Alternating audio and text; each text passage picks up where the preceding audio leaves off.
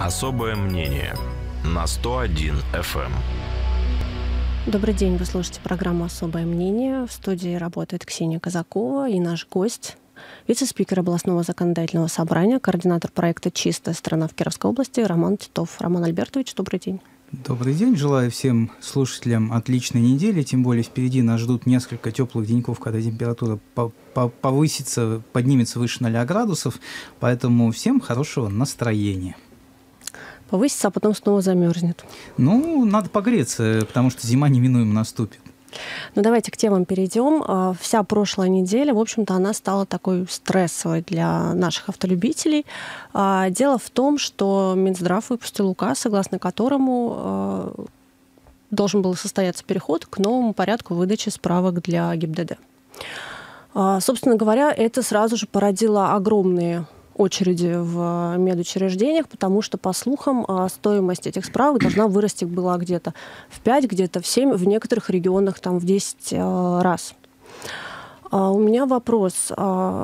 Почему сегодня эту историю, если государство говорит о том, что мы должны выявлять там, хронических, а, там, людей, которые хронически употребляют алкоголь или наркотические вещества, почему мы должны а, платить за это все? Да? Почему бы, например, эту историю не завести под а, действие полиса обязательного медицинского страхования? Ну, смотрите, вопрос у вас совершенно уместный, потому что э, сама тема ужесточения проведения медицинских анализов э, при выдаче справок, она не нова. И этим летом инициатива Минздрава, правда, вот в ее первой инкарнации обсуждалась э, сообществом автовладельцев России, в том числе такими э, инициативными группами, как «Синие ведерки», это там Петр угу. Шкуматов. И идея, которую Минздрав выдвинул этим летом, она была, ну, на мой взгляд, абсолютно рациональной. При э, повторном прохождении медкомиссии водителями, которые ранее были лишены за езду прав в состоянии алкогольного опьянения, за езду в состоянии алкогольного опьянения у них права эти отняли, им и предписано было проходить специальный анализ, э, анализ на так называемый ЦДТ-маркер, э, который как раз выявляет хронический алкоголизм. Э, и вот применительно к этой категории водителей сама инициатива Минздрава, она абсолютно уместна. Ну да, и вопросов, собственно, не возникает прав, по этому поводу. Да, Э, у тебя прошел некий период исправления, период, который ты ну, не должен был э, садиться за руль, и, разумеется, тебя должны проверить, ты исправился или нет. Сам анализ, он такой интересный, широко используется в э, клинической практике. Этот CDT-маркер, он показывает не разовое употребление алкоголя, а употребление не меньше 60 грамм алкоголя в течение двух недель. То есть, ну, такое как бы системное пьянство, угу. скажем так, да. И вдруг а, да, и летом эту инициативу ее поддержали э, как абсолютно обоснованный. Вдруг э, они замолчали, и дальше Минздрав всех шокировал, распространив правила, которые ну, были ранее применимы только для хронических э, ездунов в пьяном виде, на всех автовладельцев.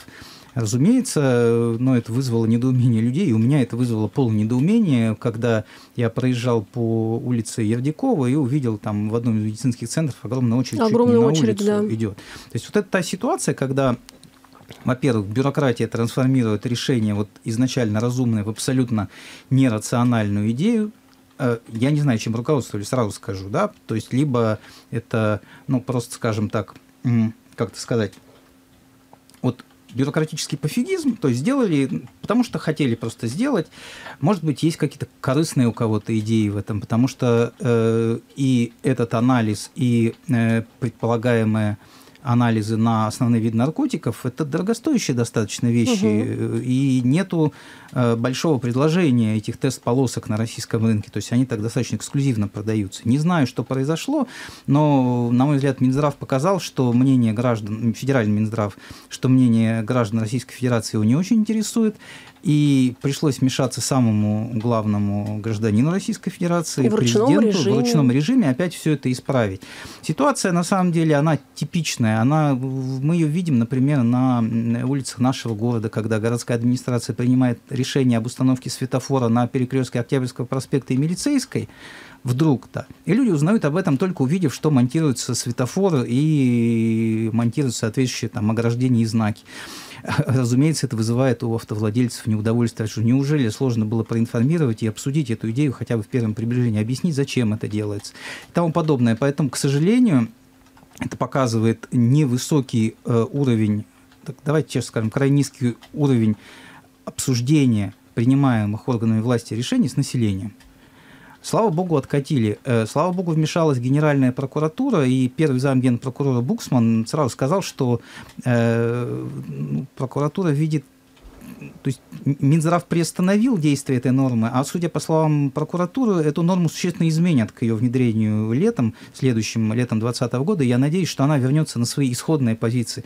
Слушайте, зачем э, каждому гражданину сдавать эти тесты даже не при первичном получении прав, а раз в 10 лет при замене прав. Что покажет при замене раз в 10 лет? Тут это анализ на ЦДТ-маркер на хронический алкоголизм. То есть, если человек перед этим не будет две недели пить, у него покажет ноль. Если человек страдает хроническим заболеванием, например, гепатитом или онкозаболеваниями, или, извините, это беременная женщина, ЦДТ-маркер у нее будет показывать, э, что там отклонение заболевание, да, отклонение, хотя этого заболевания на самом деле нет. То есть сама неправильная логика принятия этого решения Минздравом в том, что все люди, как бы, они, они виновны. То есть и ты должен проходить тест для того, чтобы доказать свою невиновность. То есть у нас вместо презумпции невиновности получается презумпция, презумпция виновности. Абсолютное искажение ну, каких-то общепринятых норм. И я надеюсь, что уверен даже в том, что следующим летом инициатива это будет трансформирована в совершенно другую и разумную, о чем мы уже раньше говорили. Но мы можем надеяться, что это под ОМС заведут? Или это все-таки будут деньги, деньги из кармана а, граждан? Получение справок водительских, оно никогда под э, МС не было. Нет, ну хорошо, пусть водительскую а вот... справку оплачивают как раньше, но конкретно вот эти маркеры э, там а, пускай компенсируют, например. Вот я в чем бы вашу идею поддержал? В том, чтобы включить проведение этих исследований, например, в перспективе, в процедуры проведения диспансеризации плановой населения. То есть, ну, на самом деле, многие люди каждый день употребляют энное количество алкоголя, не каждый день, через день, и считают, что у них все в норме. А этот анализ не обманешь, и это для человека и для врача звоночек, что у него развивается алкоголизм, начальная стадия или хроническая стадия. И, наверное, правильно такие вещи действительно делать за счет средств медстрахования, но о том, чтобы эта норма где-то обсуждалась, я не слышал, честно скажу. Ну, вот вы сказали про употребление 60 грамм алкоголя. А Петр Шкуматов... И более далее. упомянутый уже вами, говорит о том, что э, например, 50 грамм э, водки кто-то употребляет за ужином, например, да, и если он угу. делает это на регулярной основе, это приведет к тому и может привести к тому, что при прохождении маркера ЦДТ э, он будет отнесен к хроникам, поставлен на соответствующий учет, ну и со всеми вытекающими последствиями. Я к чему? К тому, что э, там люди, которые э, ну, не дебоширят, не, э, там, где-то не, не, на улице пьяными не появляются и так далее, а, насколько они вот сегодня будут вынуждены своей репутацией страдать вот из-за введения вот этих вот маркеров. Смотрите, вот я, когда говорил о 60 граммах, я говорил о 60 граммах этилового спирта. Угу. То есть, соответственно, к алкоголю, к водке это, это в перерасчет да. побольше угу. будет. Не 50 граммов, там под, под, под 100 грамм. Но вообще человек, который принимает алкоголь в каком-либо количестве ежевечернее, это, ну, по меньшей мере, начальная стадия алкоголизма угу. раз. Если человек 100 э, грамм вечером выпил, в зависимости от индивидуальных условий организма, ему, возможно, с утра нельзя садиться за руль. Поэтому тут э, Петр Шкуматов, на мой взгляд, чуть-чуть, ну, так, передергивает факты. Вот, но, наверное, наверное, он прав в том, что вот о чем мы и говорили, то есть у нас какая-то презумпция виновности. Опасен ведь не выпивающий человек, опасен даже не алкоголик. Опасен алкоголик с антисоциальным поведением, который садится за руль и едет и убивает кого-нибудь на улицах города. А выявить антисоциальность поведения – это, наверное, не задача нарколога это задача совершенно другого специалиста, это задача психиатра, о чем как-то у нас при, э, скажем так, прохождении психиатрической экспертизы при получении справок вообще за рамками этого приказа как-то не рассматривается. Опасность, она вот в той сфере находится, на мой взгляд. Угу. Вот. Я предлагаю сделать перерыв, и к другой теме мы перейдем. Особое мнение на 101 FM. Продолжаем особое мнение. Гость его сегодня Роман Титов. Мы продолжаем. Есть еще одна федеральная новость, и новость это субботняя. А в субботу, 23 ноября, в Москве состоялся 19-й съезд партии «Единая Россия». В общем-то, мероприятие такое знаковое. Да, на нем а, партия обозначила, что уже начинает готовиться к выборам 2021 года. Это выборы в Государственную Думу. Я предлагаю эту тему чуть подробнее обсудить и начать с главного, с выступления Владимира Путина.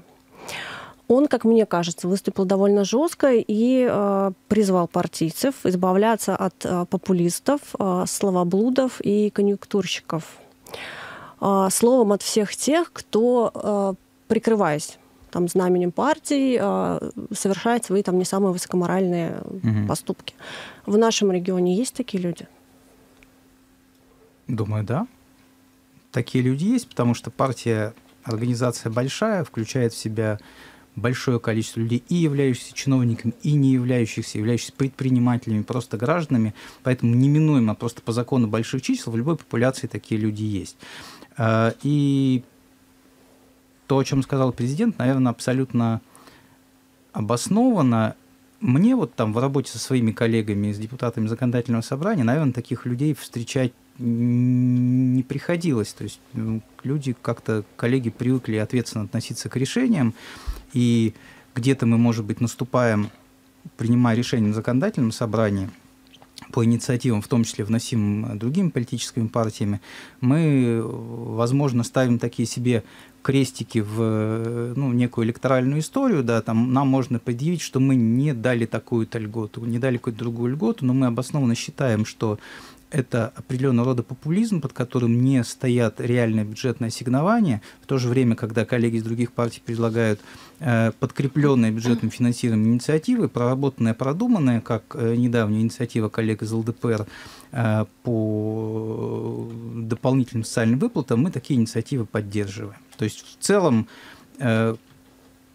скажем так, президент говорил шире даже, он э, вот несколько таких категорий людей назвал и тем самым, наверное, наметил курс на, на обновление той партии, которая его всегда поддерживала. Угу. А те, кто сегодня находится на скамье подсудимых по делу ЦДС, они э, в свете вот этого высказывания, они кто? Я думаю, что на настоящий момент, с учетом того, что граждане эти признали свою вину, а, хоть и приговор суда не вступил в законную силу, это, ну, собственно говоря, люди, которые, наверное, действовали э, где-то и прикрываясь, может быть, партийными регалиями, но действовали не в интересах государства. То угу. есть это люди, наверное, которым в партии не место. Не, наверное, а уверен. Ну, смотрите, еще одну фразу интересную сказал Путин. Он сказал, терзайте и трясите их. Это в сторону чиновников было адресовано. И вторая фраза была, старайтесь поднимать острые вопросы, решать их своими силами, не дожидаясь прямой линии. Как этот тезис вообще э, может быть реализован, если мы говорим о том, что какая-то часть членов Единой России это и есть те самые чиновники? То есть как а... они будут трясти сами себя? Вот как, как ну, здесь на первый взгляд, баланс? только на первый взгляд, это кажется, как же так? Это же пчелы против меда. Да, Неужели да. там вот Единая Россия, партия власти, будет саму эту власть критиковать? А, давайте не забывать, во-первых, про два момента. Мы, я себя отношу к там, членам, то есть не, не отношу, я являюсь членом фракции Единая Россия, угу. да, а, и я уверенно говорю о том, что мы и ранее там с коллегами власть критиковали. То есть просто придите на заседание комитетов. Я хожу ну, на те, которые курируют, тот же комитет по промышленности, где на последнем законодательном собрании, на последнем комитете мы подвергли очень серьезной критике. Это я, Владимир Бакин, Дмитрий Сергеев, другие мои коллеги, деятельность фонда капитального ремонта, который ну, фактически является структурным дочкой правительства Кировской области. А, на других комитетах по экологии, критика мусорной реформы, э, социальной политики, там иные. То есть эта критика, она есть. То есть это критика со стороны депутатов, которые представляют э, жителей области, критика власти, которая, ну, власти исполнительной. Второе направление – это о чем, скажем так, можно прочитать между строк вот в этом э, выступлении Путина, это критика внутрипартийная. То есть если для чиновника членство в Единой России это определенный такой бонус преференции, как раньше считалось, то на сегодняшний момент это еще и большая ответственность. То есть если ты не э, выполняешь те решения, о которых тебе говорит глава государства и партийное руководство, избиратели твои, а ведь президент говорил еще о том, что надо повернуться лицом к людям и слушать их, значит, возможно, ты недостоин быть членом этой организации, она тебя не должна поддерживать. Вот. Это один из тех тезисов, которое можно расценивать как начало ну, такой партийной чистки рядов. Угу. В хорошем смысле этого слова. Те люди, которые а, пользуются партией исключительно для своих целей, они должны ее ряды покинуть. Там надо работать с людьми, надо выполнять наказы людей, но при этом, да, не переходить вот границы между э, разумностью и популизмом. Вот о чем президент ранее сказал. Вот я так воспринимаю эти тезисы. Ну, то есть это наработка, там, работа на качество. Да, да на работа качество на качество. В целом это не э, какая-то революция. О, бах, разрешили чиновников критиковать. И раньше это было абсолютно разумно. Там. И я думаю, что э, критика со стороны моих коллег, как единороссов, так и членов оппозиционных партий, для губернатора Кировской области, который возглавляет э, региональное отделение «Единая Россия» одновременно там, с э, высшим должностным постом в регионе, это и его инструмент э, видеть какие-то упущения в работе членов правительства, министерств э, и, собственно говоря, эти недочеты исправлять. Ну, вот вы сказали курс на обновление. А перед, а, как раз перед съездом был опубликован опрос ЦИОМ, согласно которому 51% россиян хотят перемен. Но там в ЦОМ никак не уточнял, что это за перемены. И э, я хочу спросить вас, э, это перемены в, должны произойти внутри партии, должны прийти новые люди, или это запрос, на ваш взгляд, на перемены вообще другой партии, там, на, на запрос на новую партию? Тоже сложно вот такой э, достаточно широкий опрос ЦОМ комментировать. То есть мне кажется, когда россияне говорят о том, что мы хотим перемен, вряд ли это можно относить к тому, что мы хотим совершенно другую политическую систему. Да, вот прям вот другие партии, вот замените, уберите старое, дайте нам новое. Люди говорят о том, что, на мой взгляд, что хотят, чтобы власть их слышала, чтобы партии выражали их интересы, а не интересы каких-то бизнес-сообществ. О том, чтобы власть больше принимала те решения, которые людьми востребованы, а не генерировала безумные инициативы типа э, медицинских справок по 7 тысяч рублей угу. там, или по 5 тысяч рублей, ну уж 10 раз дороже, чем было раньше.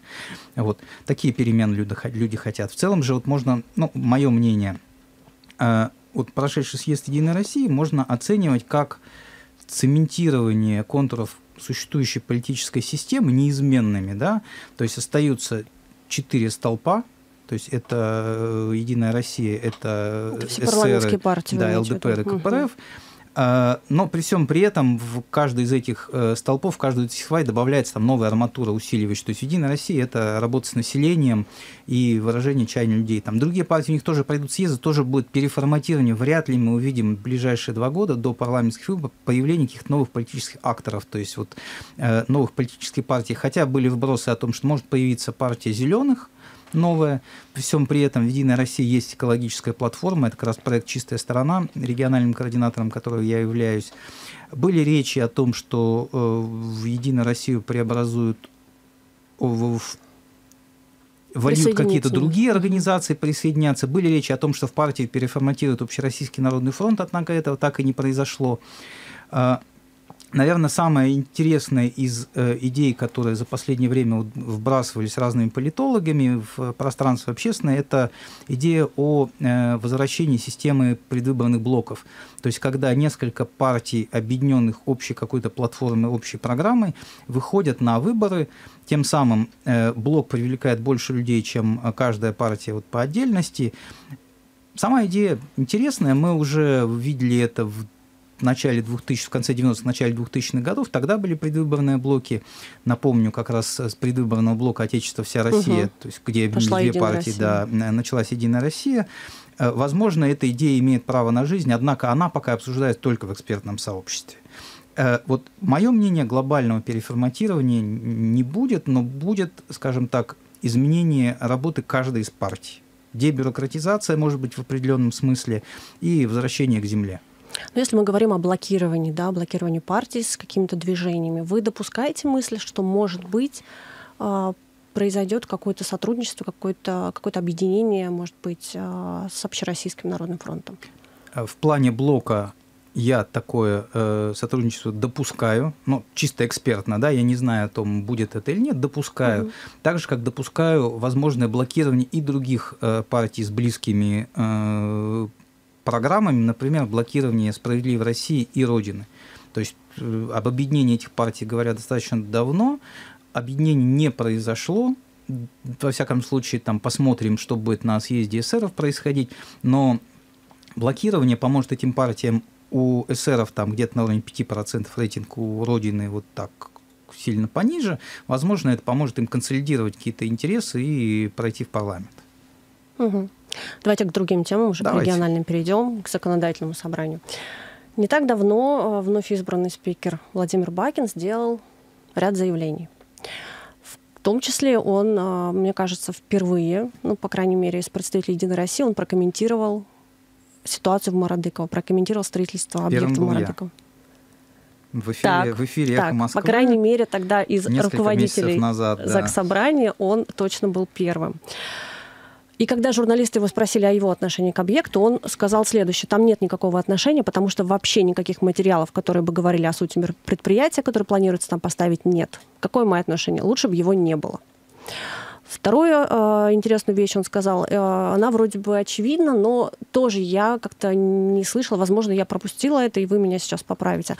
Но там от, э, не знаю, от финансового блока, от э, руководства Заксобрания я ее слышала впервые. Она касается налогов, и Бакин здесь сказал следующее. Наши собственные доходы должны расти не за счет увеличения ставок налогов, а за счет увеличения объемов реализации продукции, положительной динамики по внутреннему региональному продукту, увеличению зарплат для увеличения НДФЛ. И сказал, что одна из мер а, поддержки предпринимательства должны быть сниженные ставки по кредитам.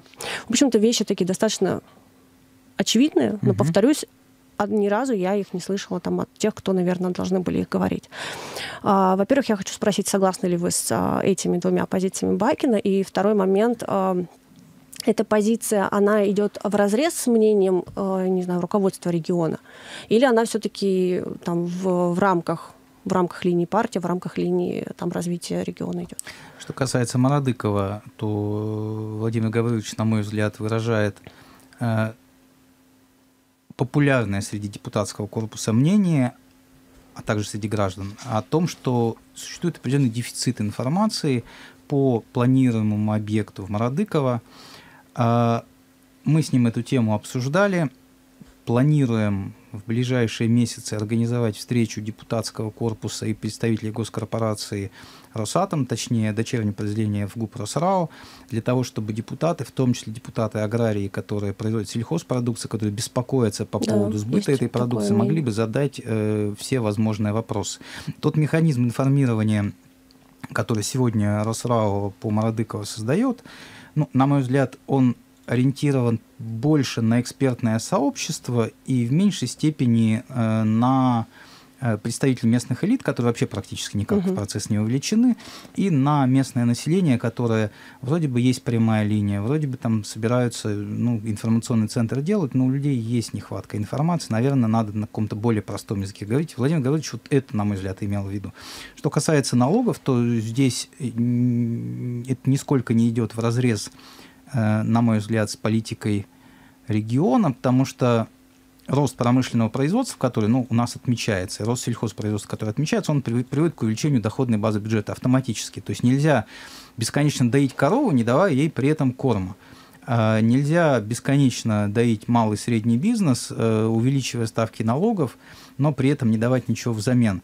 Я думаю, что то есть есть какие-то решения, которые мы принимаем на ЗАГС собрании, которые способствуют выводу бизнеса из тени, э, его легализации, как недавнее решение о повышении ставок э, платы с кадастровой стоимости.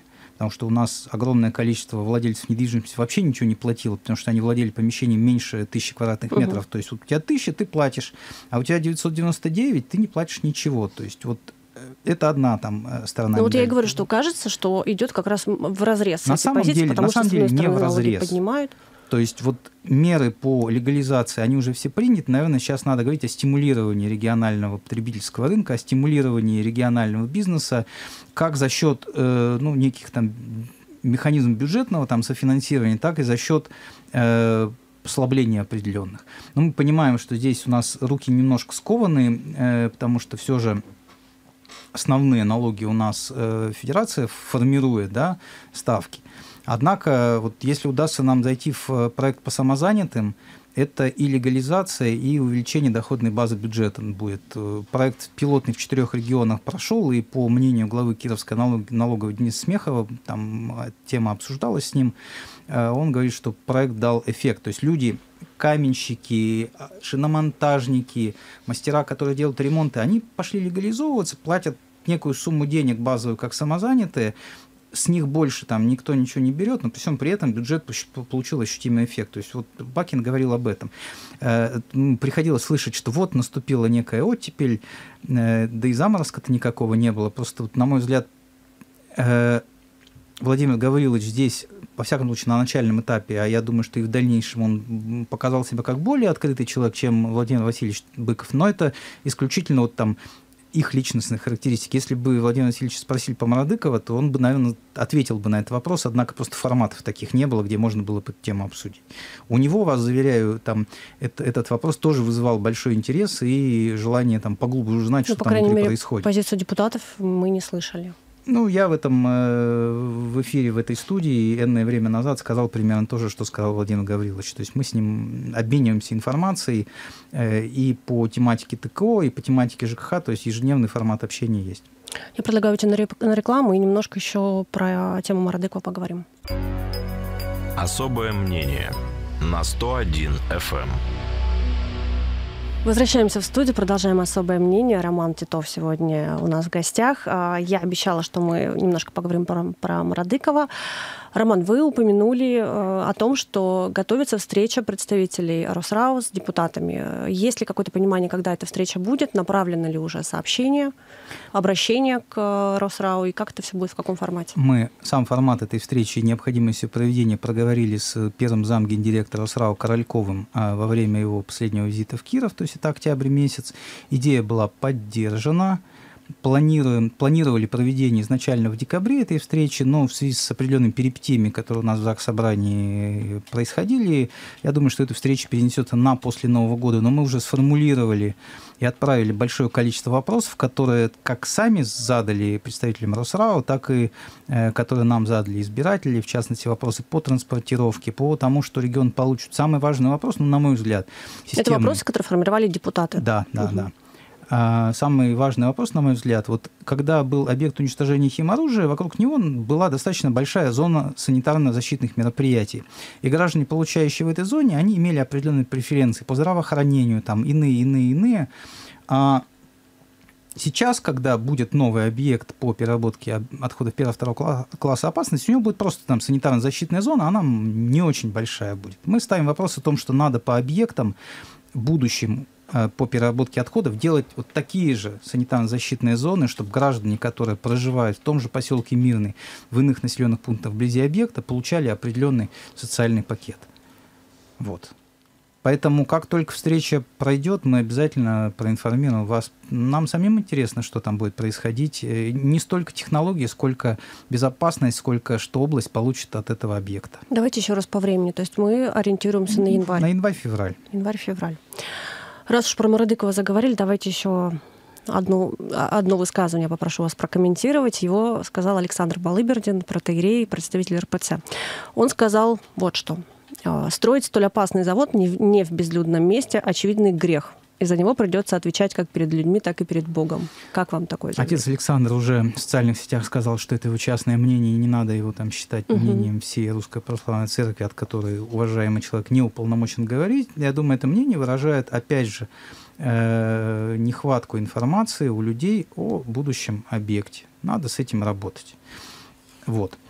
Тут, пока мы с вами говорили, мне передали, что в эфир звонил э, житель Слободского района, интересовался, как я отстаиваю интересы избирателей в Слободском районе. Вот буквально сегодня встречался с главой района по строительству детского сада в Бобино, вчера с главой администрации района по организации новогодних празднеств и по строительству пристроя в, к спорткомплексу «Красный якорь» в городе Слободском. Поэтому работаю ежедневно. На вопрос, думаю, ответил. Да. Спасибо слушателям, которые звонят на наш эфир. Да, мы продолжим с другой темой. А, есть у нас в регионе планы по созданию, по организации, точнее, по организации рейсов а, из Кирова в Турцию, из Кирова в Грецию. Идею озвучил глава региона Игорь Васильев а, в интервью нашим коллегам из Интерфакса. Вы в эту историю вообще верите, что она возможна? Я верю в китайскую мудрость, что путь в тысячу ли начинается с первого шага. То есть, если не сделать первый шаг, ты ни к чему не придешь. А в процессе движения цель может поменяться, но сам факт движения – это движение в правильном направлении, а это абсолютно правильное направление. Это, ну, хорошо. Вот давайте там на своем примере скажу. Мы действительно, вот так сложилось исторически, э, ну, любим отдыхать в Греции. Да? И надо ехать до Москвы, трястись ночь в поезде, потому что самолетом дороговато получается. Ну, сейчас начала Победа летать, может быть, дешево, но рейсы не очень удобны. Хотелось бы, конечно, в теплые страны, а мы, жители Севера, летать на более удобных условиях. Ехать в Казань, ну, я не сторонник э, таких вот больших поездок по автодорогам, опасно. Поэтому сама идея правильная. Э, вот в вашей студии был уже Дмитрий Русских, я его эфир внимательно послушал, он сказал о том, что ну чем загрузить этот аэропорт э, зимой, э, например, пассажиропоток ограничен. Наверное, он прав, но мне кажется, что Кирову нужен, нужно новое здание аэровокзала вообще. Если в нем будет международный терминал, это только лучше. Потому что то здание, которое сегодня есть, ну, по большому счету, это, наверное, напрасно потраченные деньги. То есть было здание старого советского аэровокзала, который, кстати, обслуживал 5000 человек в день. Мы до этого потока еще не дошли, но были другие требования к безопасности. Сегодня эксплуатируется нормально, для пассажиров лишь малая часть этого здания.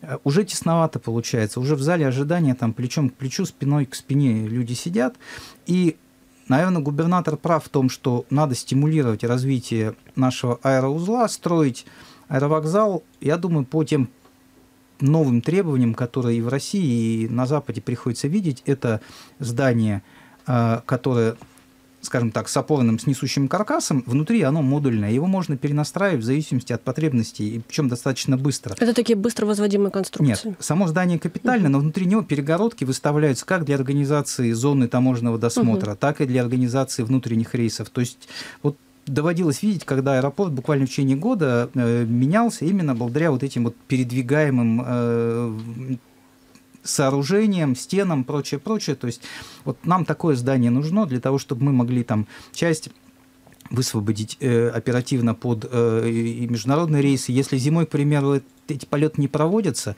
соответственно, перенастроить оперативно, опять же, из модульных конструкций под внутренние рейсы. То есть идея сама правильная, и движение в этом направлении, еще раз повторюсь, на мой взгляд, необходимо. Ну хорошо, когда мы говорим о таких больших проектах, мы всегда говорим о деньгах. Возведение терминала, тем более международного терминала, это всегда история дорогостоящая. Там, я посмотрела цифры, а, в Хабаровске терминал, который будет строиться в 2020 году, стоимость ориентировочная 3-3,5 миллиарда рублей. В Волгограде терминал, который построили к чемпионату мира, 3,7 миллиарда. В Казани не самый большой терминал, больше миллиарда рублей. Где деньги? Региональные терминал уровня Кирова можно построить где-то за полмиллиарда 700 Это региональный, рублей. который будет региональный позволять с возможностью да, организовывать рейсы. зону досмотра таможенного. 500-750 миллионов рублей. Откуда взять деньги? Не давайте не забывать, что у нас в 2024 году юбилей областного центра. А Кировская область уже со своими хотелками, э, многие из них удалось донести до профильных министерств, но, наверное, аэропорт – это такая важная вещь, которую еще не поздно докинуть в тот пакет, который мы бы хотели в качестве э, подарка, можно сказать, на юбилей города от федерального правительства, и, возможно, эти средства будут выделены либо в софинансировании с регионом, либо чисто под регион. Напомню, там на театр, например, на областное здание драмтеатра нам дали миллиард рублей на реконструкцию. То есть мы ждем этих денег именно в рамках празднования, подготовки к празднованию 2024 года. Это реконструкция в центре города миллиард, здесь новый терминал, он дешевле получится. Но, конечно, надо будет перенастраивать э, и саму взлетно-посадочную полосу, потому что терминал, очевидно, будет стоять в стороне от основного здания, на которое все коммуникации заточены. В целом проект амбициозный, и, опять же, повторюсь, важно в этом направлении двигаться, дай бог, срастется. Сама идея правильная. Ну, зачем нам международный э, аэропорт, большой аэропорт? Я поэтому и говорю, нам нужен новый аэропорт, на здании аэровокзала, в котором можно решать любые задачи по организации пассажирских перевозок. Я немножко о другом хочу спросить. А у нас сейчас есть аэропорт Победилова, с которым, собственно говоря, маленький аэропорт, маленькие проблемы, большой аэропорт, большие проблемы. Соответственно, больше кассовый разрыв, а больше там субсидий из бюджета. Мы с сегодняшним, а, сегодняшней ситуацией в Победилово не можем справиться. Как мы с большим аэропортом будем управляться? Мне кажется, что, во-первых, у нас уже проблемы из-за того, что у нас большие проблемы из-за того, что аэропорт маленький раз. Во-вторых, э, мы могли бы стать своеобразным пассажирским хабом для более северных регионов, с которых нет э, такого же прямого сообщения. Организовать еще более проблематично из-за мерзлоты, из-за сложности организации перевозок вот в этих экстремальных северных территориях. Как организовать пассажиропоток? Слушайте, ну это задача профессионалов. Я думаю, что на этапе проектирования заявки эти все вещи будут ясны и очевидны. То есть замахнулись ли мы на ту идею, которую можем проглотить, или все же не получается ничего. Но сегодня на мой взгляд, аэровокзал уже не справляется со своими задачами. Остается у нас чуть меньше полутора минут до конца эфира. Я хочу очень кратко спросить вас о законопроекте о времени тишины, который вы вносили, который уже стал законом на последнем mm-hmm. заксобрании. А какие поправки были утверждены, которые, и какие вошли уже в итоговую версию закона? Это э, поправки по конкретизации видов шумов. За исключением мы вывели из регулирования крики детей, но ввели скажем так, э, фактически запрет ночного строительства, в том числе строительства э, жилых домов вблизи многоквартирных домов, которое может там причинить ну, неудобства гражданам. Угу. Мы ограничили с коллегами э, ночной там, лай и иные там звуки, издаваемые животными, потому что на сегодняшний день это большая проблема. А ночные ремонты как концепция ушли, то есть мы ориентировались на обращение граждан, избавились от нее, ужесточили штрафы впервые появившийся для юридических лиц за нарушение режима тишины, и сделано исключение по э, ремонту дорог, содержанию дорог и вывозу твердых коммунальных отходов. Роман, мы на этом вынуждены да. закончить. Программа наша завершается. Это было особое мнение Романа Титова. Спасибо. Спасибо. Особое мнение на 101 FM.